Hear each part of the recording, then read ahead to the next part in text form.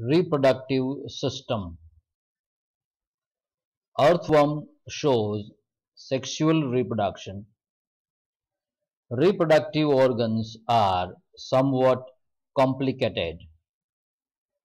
The earthworms are hermaphroditic, also called monoecious, but they cannot fertilize their own eggs because male and female gametes are produced subsequently.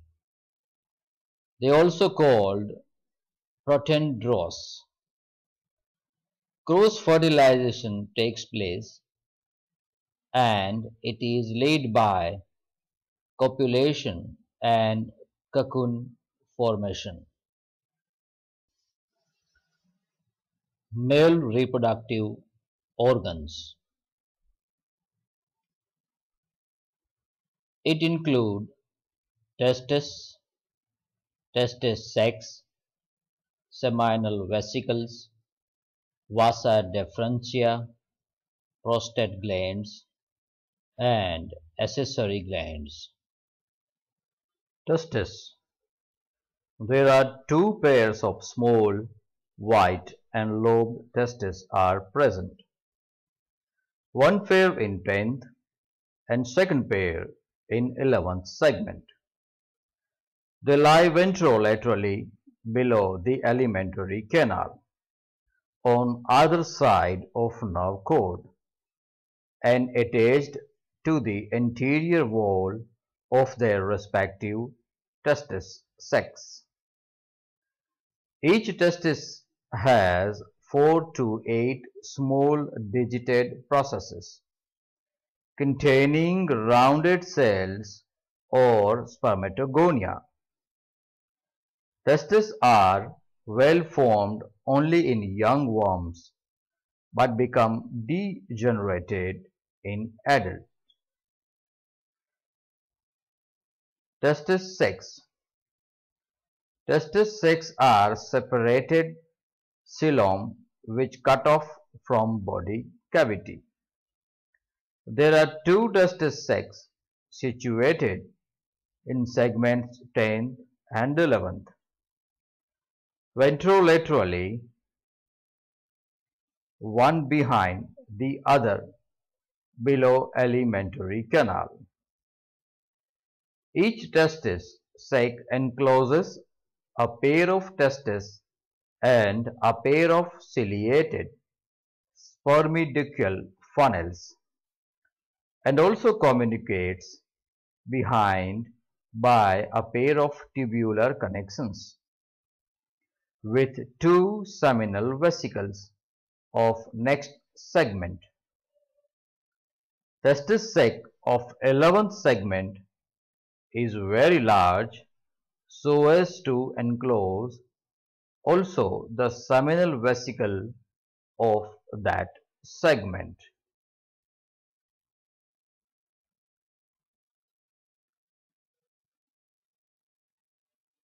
Seminal vesicles Two pairs of large white seminal vesicles situated in segments 11 and 12 respectively.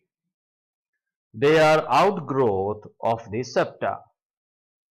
Testis sac of 10th segment communicates with seminal vesicles of 11th segment and testis sac of 11th segment with seminal vesicles of 12th segment. Seminal vesicles of 11th segment lie enclosed within testis sac of the same segment, while of 12th segment is free. Spermiducal funnels two pairs of ciliated spermiducal funnels, one of them lying behind each testis in the same segment and enclosed within the same testis sac. Vasa deferentia. Each funnel leads to thread-like sperm duct or vas deferens. Two vasa deferentia of same side run close together posteriorly along the ventral body wall up to 18th segment to join the prostatic duct. Prostate glands Prostate glands are a pair of grayish-white, flat, solid, irregular and lobulate masses lying one on either side of gut and extending from 16th or 17th segment up to 20th or 21st segment. Two vasa deferentia of its own side forming a common spermatic and prostatic duct, within which the three tubes remain separate. Both common ducts curve inward to open to the exterior independently by a pair of male genital pores ventrally on 18th segment. Prostate glands produce a fluid, the prostatic fluid. Accessory glands. In each of 17th and 19th segments, there is a pair of rounded white masses, the accessory glands, situated on ventrolateral body wall on either side of nerve cord. They open out by number of ducts on two pairs of genital papillae, situated externally upon the 17th and 19th segments on either side of midventral line. Their secretion helps probably to joining the two worms during copulation. From testes, spermatogonia or sperm mother cells are dropped into testis sacs. From here, they enter seminal vesicles to undergo maturation and develop into spermatozoa. Mature sperms move back into testis sacs and enter into spermiducal funnels and pass through vasa deferentia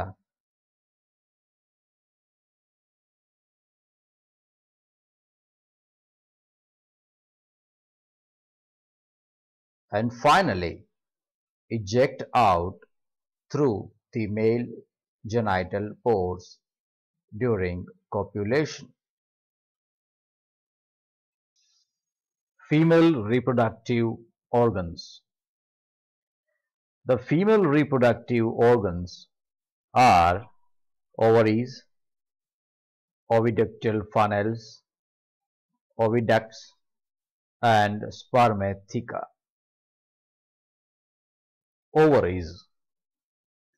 A pair of small white digitized ovaries situated in 13th segment attached to septum of 12th and 13th segments on either side of ventral nerve cord.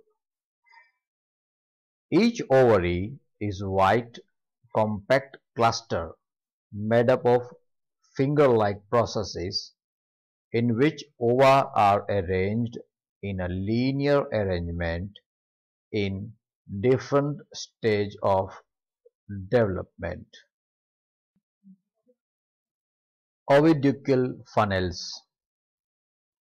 A broad-mouthed oviducal funnel with high folded and ciliated margins.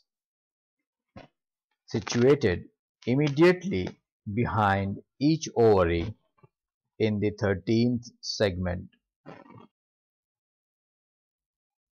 Oviducts. Each oviductal funnels open behind into a short conical ciliated tube, the oviduct. The two oviducts run backwards, pierce the septum of 13th and 14th segments, and join to meet in ventral body wall under nerve cord, forming a very short common oviduct. It opens out to the female genital aperture situated mid-ventrally in 14th segment.